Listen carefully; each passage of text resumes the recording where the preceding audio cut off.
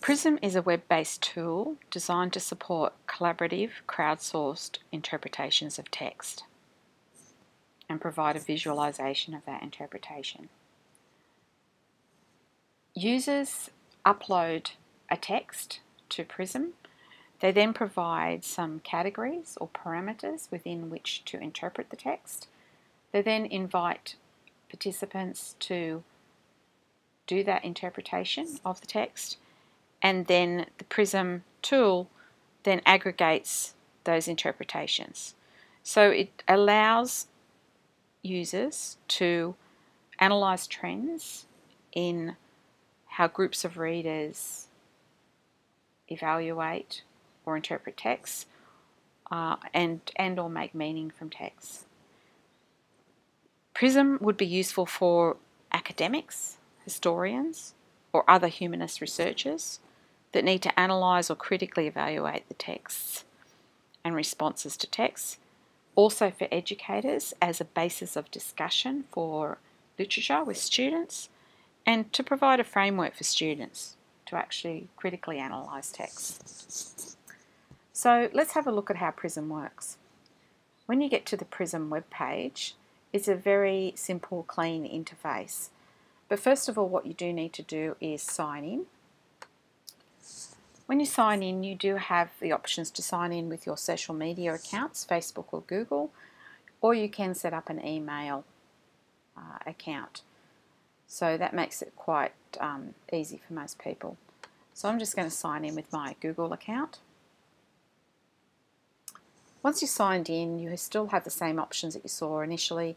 You've got a demo mode, so you can actually have a look at how Prism works, and there's a tutorial. You've also you've got your create mode, so this is where you actually create your prisms and upload text that you want interpreted. And then you've also got a play mode. So uh, you can license your prisms and you can make your prisms available to the public and or you can make them unlisted as well. So you can play with other prisms. Um, so let's just have a look first at um, creating a prism.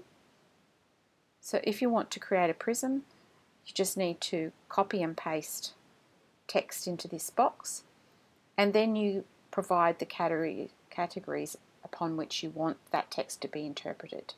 You give it a title, um, who the author was, the publication date of it, then a little bit of a description about how you want that uh, text interpreted or what those categories mean, whether you want it to be unlisted, that is, only the people that you send the link to will have it, and you license it, and then you create your prism.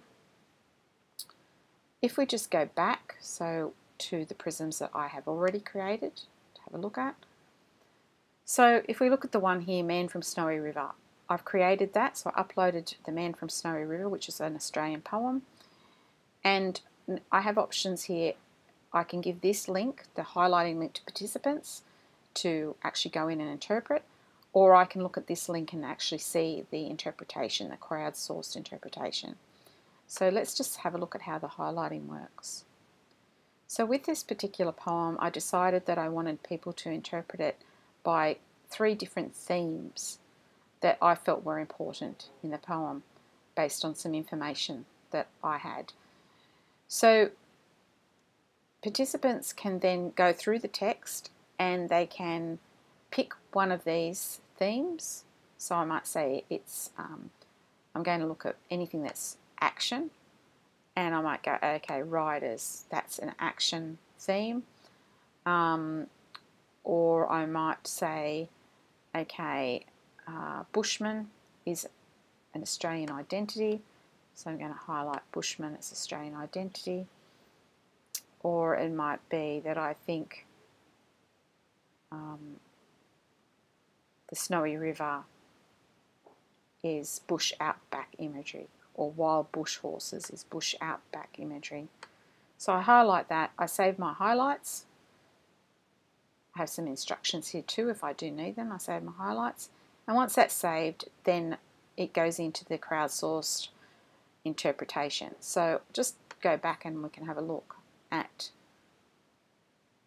crowdsourced interpretation that I got from this text.